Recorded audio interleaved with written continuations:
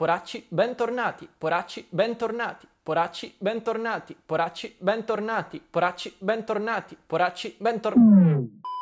Poracci, bentornati o benvenuti su TG Poro, l'unico format di YouTube Italia dove si parla di videogiochi. Oggi discuteremo dei festeggiamenti per il Mario Day, dell'acquisizione di Bethesda da parte di Microsoft, del vero remake di Diamante e Perla e non solo. Come al solito, prima di iniziare vi invito a supportare il canale come meglio credete, con un like, attivando la campanella delle porotifiche e seguendomi su tutti gli altri social, altrimenti ci sono i caffè virtuali su Kofi lo sapevate che un caffè equivale a un memino in HD?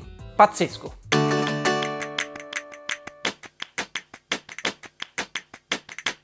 Partiamo con qualche notizia al volo. Molti di voi infatti sapranno che era stato liccato un imminente aggiornamento del firmware di Nintendo Switch. Ora sappiamo cosa aspettarci dalla patch 11.4.0. Ovviamente nulla di che. L'update era stato intercettato da un bot su Twitter e gli utenti hanno subito iniziato a volare con la fantasia. Chi sperava nell'aggiunta delle cartelle, chi nella personalizzazione dei temi e invece a breve ci ritroveremo con un semplice update di stabilità che andrà ad aggiornare la lista nera delle parole non consentite su Switch. Insomma, non aspettatevi nulla di che. Inoltre vi ricordo che ci avviciniamo sempre di più all'uscita di Monster Hunter Rise su Switch e Nintendo sta puntando parecchio su questo titolo, tanto che la demo apparsa qualche tempo fa su eShop farà il suo ritorno questo venerdì in una versione aggiornata che permetterà di prendere parte alle stesse cacce di prima, resettando il numero di tentativi disponibili, oltre a una nuova missione, quella relativa a Magna Malo o Magna Male per noi romani. Fossi in voi,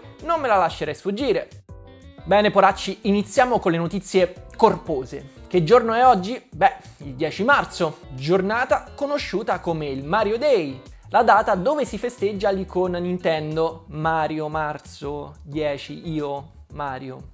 Divertentissimo. E cosa ha in serbo Nintendo per questo evento importante? Un bel niente, almeno per noi europei. Sì, insomma, Nintendo ci sta prendendo gusto e dopo aver lisciato clamorosamente il 35 anniversario di Zelda, facendolo passare nel silenzio più totale, anche per Mario non si sta comportando nel migliore dei modi. Se non altro, in questo caso la grande N si è ricordata della ricorrenza tramite dei post social e qualche evento a tema minore, come su Mario Kart Tour, il racing game per cellulare e un easter egg su Google Maps. Tutto qui? Beh, non proprio. Infatti è partita anche una corposa campagna di sconti per i giochi con protagonista l'idraulico italiano, un evento più unico che raro, visto che i grandi nomi Nintendo difficilmente vengono toccati toccati da promozioni e saldi. Peccato che questa iniziativa sia limitata al Nord America e noi europei non siamo minimamente presi in considerazione, una scelta abbastanza deludente. Ma attenzione ragazzi perché proprio mentre registravo è uscita la notizia dove sostanzialmente anche noi in Italia avremo degli sconti ma limitati. Saranno infatti disponibili da domani Super Mario Maker 2 e Paper Mario di Origami King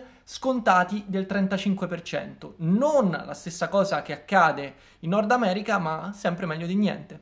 Oltre al danno, anche la beffa, visto che Nintendo Japan ci ricorda sui social che questo mese vedrà la morte di Mario e con esso la sparizione di parecchi titoli pensati per il suo 35 anniversario. Tra i tanti, Nintendo ci tiene a precisare che Super Mario 35 non sarà più giocabile dal 1 aprile, anche se scaricato nella console. Che dire, mm, bel modo di festeggiare Nintendo? Complimenti. Passiamo ora al vero terremoto che ha scosso il mondo dei videogiochi, perché l'acquisizione di Bethesda da parte di Microsoft è stata finalizzata. L'affare, costato alla casa di Redmond la bellezza di 7,5 miliardi di dollari, una sciocchezza, cambierà di netto gli equilibri del mercato. Vediamo come. Le mire espansionistiche di Microsoft l'hanno portata a finalizzare forse una delle più grandi acquisizioni di sempre e se già negli ultimi anni eravamo stati abituati a vedere importanti aggiunte di studi più o meno indipendenti all'interno dell'Xbox Game Studios, con quest'ultima mossa alla famiglia Xbox si aggiungono con un colpo solo ben otto importantissime software house, tra cui Arcane, ID Software, Bethesda e Machine Games. Phil Spencer ha ufficializzato l'acquisto con un post sul sito di Xbox, dove spiega, anche se in modo un po' vago, quali saranno le prossime mosse dell'azienda. Come è lecito aspettarsi, l'obiettivo è quello di far diventare il Game Pass la piattaforma di riferimento per il gaming su console e non solo, e già dai prossimi giorni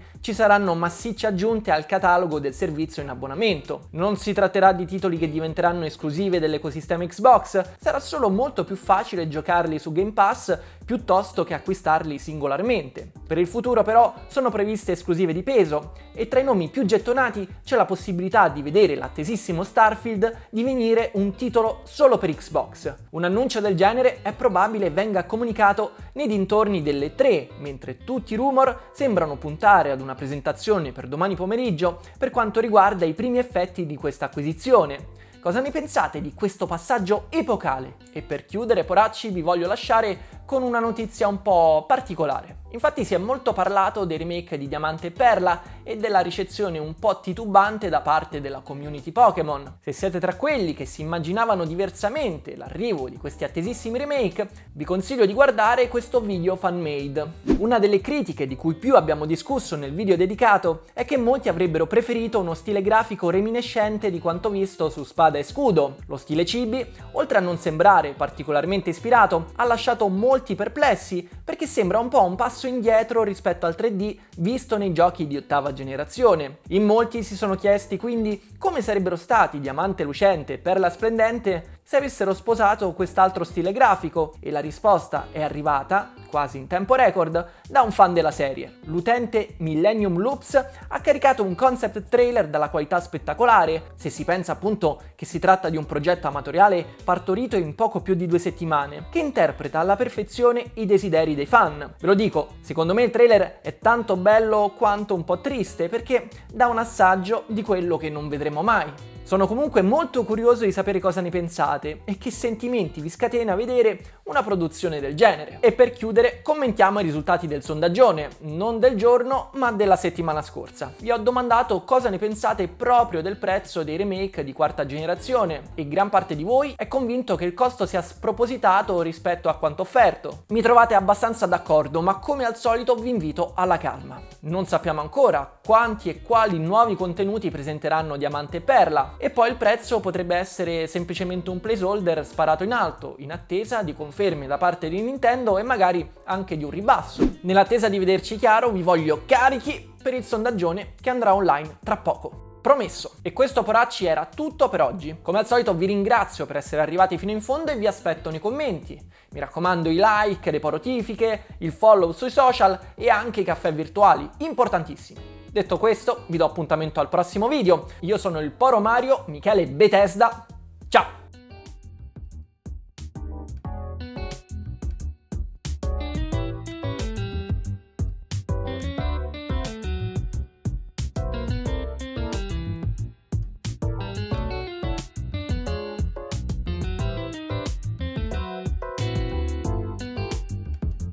bentornati, poracci bentornati, poracci bentornati, poracci bentornati, poracci bentornati.